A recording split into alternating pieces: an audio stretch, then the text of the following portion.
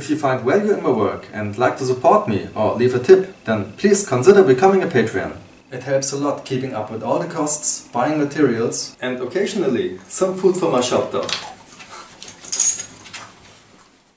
Thank you for watching and don't forget to subscribe for more videos.